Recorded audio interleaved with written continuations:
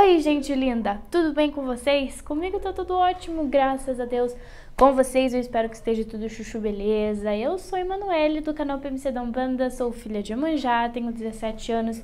E no vídeo de hoje eu vim dar 10 diquinhas pra vocês sobre pra quem tá querendo entrar dentro da religião. Porque, olha, hoje em dia a gente tem que ter olho aberto, muita atenção e cuidado na hora da gente ver onde que pisa. Então no vídeo de hoje eu vim dar 10 dicas para quem tá querendo entrar pra Umbanda, mas antes, se você não me segue, me segue lá no Instagram, é arroba PMC da Umbanda, lá eu tô postando diariamente stories com vocês, fotos novas, dicas, os feedbacks do jogo de carta também, então não deixa de seguir lá. E se você não é inscrito aqui no canal, já aproveita para se inscrever, se junta nessa família linda e dá um curtir aí, um gosteizinho se você gostou do vídeo, ou se você vai gostar, né? Primeira dica, vamos lá. Pra quem quer entrar nesse meio de Umbanda é responsabilidade. Hoje em dia, o que eu mais vejo é gente entrando pra religião sem responsabilidade nenhuma. Então, uma das primeiras coisas que você tem que ter é responsabilidade. Se você não tiver um pingo de responsabilidade na sua vida, já tenha uma certa consciência que você vai precisar criar, não só com a sua vida, como dentro da religião também. Então, responsabilidade, assim, com a religião, com a sua vida, com a pessoa que você é, com o hábito diário que você vai ter que criar, principalmente a responsabilidade com os guias dentro do terreiro, é assim, tem que ser ponta firme e pontual. Então, já saiba que você vai ter que ter aí esse, esse quesito na sua vida. Segunda coisinha, compromisso. Sabe por quê? Porque às vezes a gente vai se ver entre a cruz e a espada, porque vai ter o aniversário lá, a festinha de fulano de aniversário, e gira no mesmo dia. Aí a gente vai ficar misericórdia, mas eu vou pra gira ou eu vou pra festinha tomar uma cervejinha, comer um salgadinho? E daí que vem o compromisso com a sua religião, como diz o meu pai de santo. Primeiro a obrigação, depois a devoção. Então, a obrigação vem primeiro, você vai ter que ter o compromisso de ir no seu terreiro, trabalhar com as suas entidades para depois ir naquela festinha. Isso não significa que você não possa faltar nunca do terreiro, tá? Se for questão de saúde, questão de trabalho, questão de um aniversário de uma pessoa que você ama muito e você precisa estar presente, a espiritualidade não vai colocar uma faca no seu pescoço e falar vamos pro terreiro. Ela vai ser compreensiva e vai entender. O que eu tô querendo dizer aqui é que você não vai poder faltar sempre que tiver um aniversáriozinho, um churrasquinho na casa de fulano, um negocinho ali que você gosta. Não pode, tá? Compromisso é primeiro lugar. Então, quando for datas especiais, não tem problema. Mas não vai sair faltando só porque tem ai, festinha, ai, né? Então, compromisso. Terceira coisa entra junto com o compromisso, que é a renúncia. No Catecismo de Umbanda a gente aprende muito sobre isso. A renúncia quer dizer o que pra gente? Quando você entra dentro da religião, você vai ter que renunciar a muita coisa, principalmente a sua vida de jovem, se você for jovem vai ter que ter muito preceito, vai ter que se afastar um pouco de balada. Por quê? Porque vai ter coisas que a gente vai ter que seguir na linha da espiritualidade. Por exemplo, o preceito, você não pode ter relações, você não pode to tomar bebida, né? Bebida alcoólica, você não pode sair enchendo a cara, não pode ir para lugares pesados antes da gira, por exemplo. A gira é amanhã. É, hoje eu vou para um barzinho e eu sei que aquele boteco é carregado. Ou a gira é amanhã e hoje eu vou para uma festa. Eu não vou beber, tá, Manu? Eu não vou beber, mas eu vou para aquela festa. Mas eu sei que aquele ambiente é pesado porque o ambiente não é legal. Então, a gente já sabe o que? Que vai ter que renunciar àquela festa, aquele barzinho, aquele fim de semana tomando bebida, principalmente se a sua gira for ali de final de semana ou de segunda, que é sábado e domingo de preceito, né? Depende muito de terreiro para terreiro também, mas é muito mais do que importante você saber que você vai ter que renunciar a muita coisa. Inclusive essas coisinhas superficiais da vida, ai, bebida alcoólica, ai, sair com fulano, sair com ciclano. Principalmente dentro desse meio de umbanda, as pessoas que saem pegando geral não têm assim uma energia muito legal para trabalho dentro da religião, tá, gente? Porque você sabe que quando a gente sai com uma pessoa, sai com outra, a gente pega energia dessas pessoas. Então imagina se você sai passando rodo em geral e depois vai para o trabalho. Não é banho de descarrego que aguente. Então a renúncia é você saber que você vai ter que deixar de lado muitas coisas da vida superficial para poder se dedicar à sua espiritualidade, se dedicar a estar limpo para poder participar dos trabalhos de humano. Então, o preceito é uma das coisas assim que a gente tem que pensar muito. E a renúncia vai desses lugares pesados, das baladas. A gente nem sente muita vontade de ir para esses lugares, mas às vezes perto do preceito vai bater aquela vontade e é a espiritualidade te testando. Aí que você vai ter que ter a responsabilidade para não ceder a essa vontade. Então, tem muita coisa pra gente falar, mas só para o vídeo não ficar longo, longo, a renúncia é muito importante a gente não esquecer. Quarta coisinha, confiança. Tem muita gente entrando para a religião só porque quer entrar e tá esquecendo de confiar na espiritualidade. Você sabia que pra gente entrar para a religião, você tem que confiar, certo? Você tem que gostar daquilo, é lógico que tem que gostar, mas acima de tudo tem que confiar, porque o trabalho de um bando, o trabalho da sua entidade e seu ali feito durante o passe, principalmente para os médiums conscientes, é feito na base de confiança. Você tem que confiar naquele guia, confiar na sua entidade, confiar na sua espiritualidade. Então, quarta coisinha que tá todo mundo entrando e esquecendo é a confiança nas entidades, é a confiança na espiritualidade, confiança em você e no terreiro também que está sendo feito todo aquele trabalho, tá? Uh, ficou mais escuro porque o meu celular, eu não sei o que, que acontece, ele não aguenta muito tempo flash, ele esquenta. Então os próximos aqui vai ser sem flash. Quinta coisinha, a dedicação é muito importante dentro da espiritualidade, dentro do terreiro, tá? porque é a dedicação que vai denominar ali como que você está se saindo dentro da religião.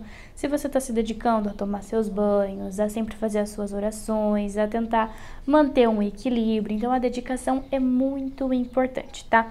Mas eu já vi muita gente fazendo assim, ó, é, se dedica 100%, vai lá, ajuda a limpar terreiro, faz o caramba e tudo que tiver mas ele, na hora de ser uma pessoa boa, uma pessoa equilibrada, uma pessoa com uma espiritualidade bonita, não é. É uma espiritualidade que sai fazendo fofoca, que olha, faz, faz inveja, fica fazendo picuinha.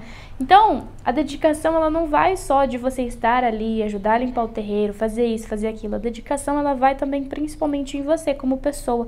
Como você está dedicada a entrar na espiritualidade e melhorar, tá?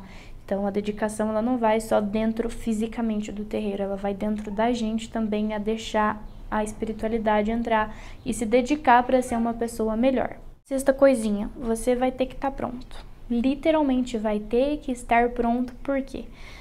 A espiritualidade ela vai fazer muitas mudanças na sua vida. Então, quando a gente entra para o mundo espiritual, quando a gente entra principalmente para o despertar espiritual, muita coisa muda e a gente tem que estar tá pronto porque um dos principais trabalhos da espiritualidade com a gente é trabalhar no nosso lado sombra. A gente tem o nosso lado luz e o nosso lado sombra, né?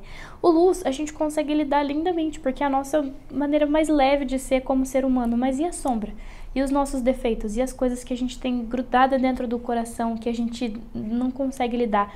É ali que a espiritualidade vai trabalhar. Ela vai que nem uma flecha certeira assim, ó, twin, e vai acertar ali naquela luz aquelas luz pouca, sabe? Incandescente, aquela coisa que tá meio borocochô, é a sombra e é ali que a espiritualidade vai trabalhar. Então você vai ter que estar tá pronto para é, passar por cima das suas dores, para poder enfrentar essa dor, porque não é escondendo a dor que a gente consegue enfrentar ela, que a gente consegue passar e evoluir, é enfrentando, né? É literalmente cabeça erguida, respirando fundo, chorando, mas olhando para frente enfrentando ela de frente. Então, você vai precisar estar pronto para as mudanças que a espiritualidade vai fazer na sua vida, é de dentro para fora que começa. Não é dentro do terreiro só girando, girando, girando, é de dentro para fora. É isso que é um banda, é isso que é a espiritualidade. Mexer lá dentro de você e te transformando como pessoa. Antigamente, você via muitas pessoas dizendo que a Umbanda mudou a vida da pessoa para melhor. A Umbanda fez a vida da pessoa literalmente melhorar e ela ser uma pessoa nova, uma pessoa literalmente mudada. E é isso que a Umbanda faz. Hoje em dia tem muita gente falando, ah, nega, ah, pomba gira, não, e todo mundo tá esquecendo que o trabalho primeiro é aqui, ó, dentro da gente, para depois ser externo com as entidades. Então, esteja pronto para as mudanças que a espiritualidade vai fazer na sua vida se você permitir. Sétima coisinha, paciência. É muito importante a gente ter paciência porque a galera Pega uma vela de sete dias assim na mão, ó, e já fala, vou acender pro meu anjo de guarda, porque o meu anjo de guarda é fulano de tal, porque eu tô na Umbanda, mas eu já descobri que meu mentor do Kardec é Chico Xavier, e eu acabei de descobrir através dessa vela de sete dias que meu caboclo é seu tupinambá, e sai todo mundo assim, viu? Sai todo mundo assim. Ah, Manu, olha, eu comprei uma vela de sete dias, eu vou fazer um congá aqui na minha casa para mim poder incorporar, né? Vamos lá, respira primeiro, paciência acima de tudo, porque a espiritualidade. A espiritualidade é esperta, meu filho. Ela é esperta e ela é minuciosa também. Vai pensando que você vai dobrar a espiritualidade. Vou dizer para vocês que a própria espiritualidade, os guias e as entidades, eles sabem o momento exato, exato de conversar com o médium, de falar para o médium aquilo que a espiritualidade está querendo dizer. Ou seja, então não adianta você querer saber o nome do seu guia hoje e ficar, ai, pelo amor de Deus, caboclo, fazer meditação, eu tô te invocando, me fala o seu nome, eu tô aqui na mata, ó. Não, não adianta. É na hora que a espiritualidade quiser, no momento que a espiritualidade, a espiritualidade fala, olha, não, é agora que eu vou passar o meu nome para ele. Aí ela vem e passa. Só que vai ser quando você menos esperar, quando você tiver assim, sabe, você já cansou de ficar tanto ansioso, você já descansou, tá com o coração em paz, aí a entidade vem e te fala. Então, por isso que durante todo o desenvolvimento é importante o médium manter a calma, sabe? Fica calmo, fica tranquilo, porque assim é mais fácil das entidades virem e te passar um nome, te passar ponto riscado, te passar o que tem que passar mais rápido, porque quanto mais ansioso você fica, mais demora. Quanto mais ansioso você fica, mais demora para suas entidades se soltarem, para você conseguir pegar confiança para trabalhar bonito dentro da gira. Então, tem gente que fala, Manu, eu tô há dois meses de olho fechado, minha entidade não fala, não, não olha, não abre o olho. Tudo isso é um médium, gente. A entidade, ela não vai ficar dois meses quieta, ela não vai ficar dois meses ali de olho fechado. Isso são as inseguranças do médium, tá?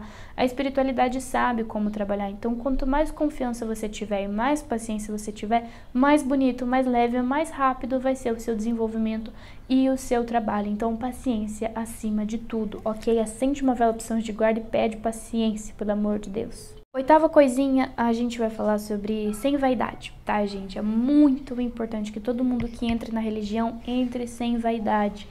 A vaidade é um negócio assim que, se você é um espelho que reflete a espiritualidade, na hora que a vaidade encosta, esse espelho se trinca inteiro, ou seja, estraga, porque o espelho não vai ser o mesmo, não tem como colar.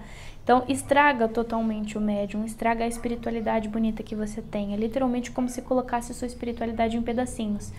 Então é muito importante ter cuidado com vaidade. Ai, que eu quero a roupa mais bonita. Aí vem com aquele papo, ai, que eu quero dar o melhor para minha entidade. Gente, dar o melhor para sua entidade é você ter fé e simplesmente estar tá ali de coração e alma no terreiro. Não adianta você querer se vestir com a roupa mais bonita.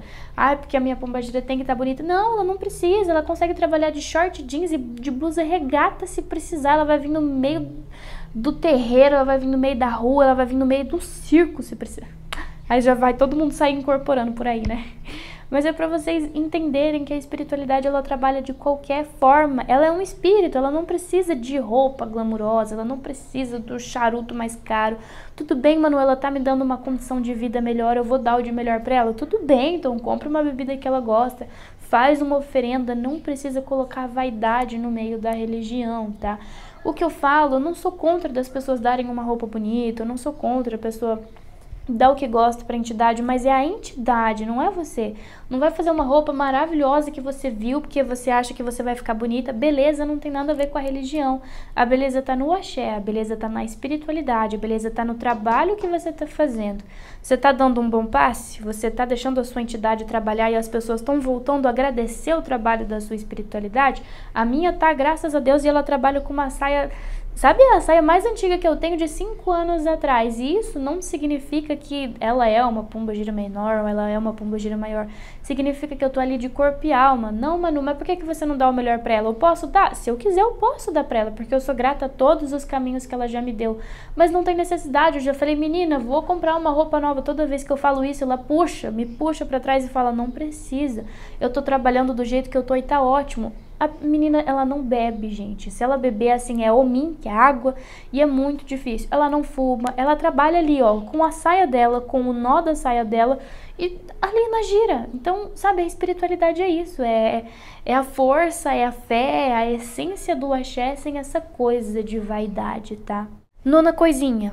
Tudo começa em casa. Não adianta você querer ir direto pro terreiro e pensar que todo o trabalho vai ser feito lá, porque não vai.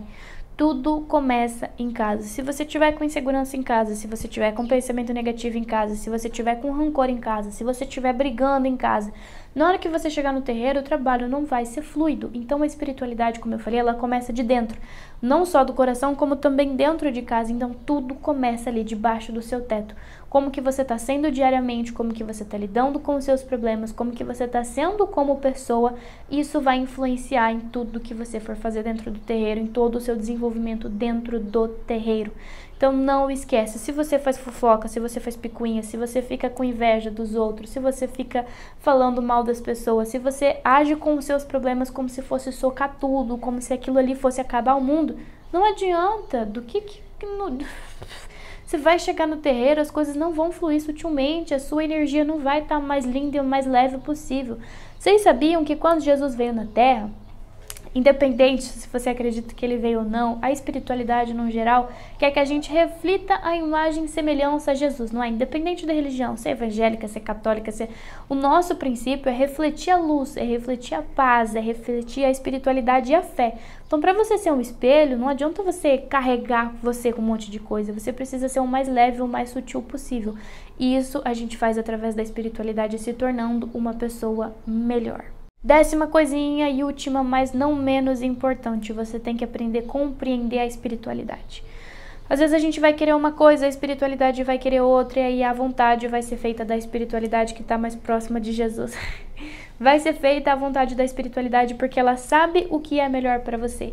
Ela sabe qual caminho é melhor para você. Então, às vezes, as coisas não vão sair do jeitinho que a gente quer, mas mesmo assim a gente tem que aprender a compreender a espiritualidade, compreender Deus. É a mesma coisa que o desencarne. De repente, uma pessoa que a gente amava, um ente querido, desencarnou assim de uma hora para outra. Você vai cair em lamentação e vai ficar ali em depressão. Isso é falta de compreensão da espiritualidade. Tudo bem que dói, gente. Eu já passei por mais de sete perdas da minha família e eu sei que dói. Não é uma coisinha, ai, perdi fulano. Eu já perdi muita gente da minha família. Minha família era grande, era todo mundo próximo. Era literalmente toda semana a família inteira reunida aqui casa de vô, sabe? Então a gente sabe muito bem que tem que aprender a compreender a espiritualidade, tem que aprender a compreender a morte é tão natural quanto a vida. As coisas que a gente quer, a espiritualidade sabe o que é melhor pra gente. Então, se você quer fulano, fulano não veio, significa que a espiritualidade vê que não é melhor. Se você queria isso e não deu certo, é porque a espiritualidade vê que não é o momento certo. Então, aprenda a compreender o espiritual, a espiritualidade, que nem tudo é mar de rosas, às vezes vai ser difícil, vai ser pancada. Isso vai ser a maioria das vezes, porque às vezes a gente está precisando evoluir e vai ficar apanhando. Então, tudo depende da sua compreensão. Abrace a espiritualidade, tenha fé, não só na Umbanda, tá? A espiritualidade em si, o universo, as energias, Deus, as suas vidas passadas, os elementais, a natureza, tenha fé na espiritualidade em si. Então, abraça essa fé, compreenda o espiritual e tudo que a lei divina prepara pra gente, vai-se embora porque o caminho é lindo, tá bom? Tem muitas outras dicas, mas por hoje é só isso, porque senão eu vou falar muito. Eu espero de coração que você tenha entendido. Se você gostou, não esquece de clicar aqui no gostei, se inscrever aqui no canal, ativar o sininho de notificações e dar like, dá like, dá like, like, like, tá bom? Um beijo, fiquem na paz de Zambi e até o próximo vídeo. Axé!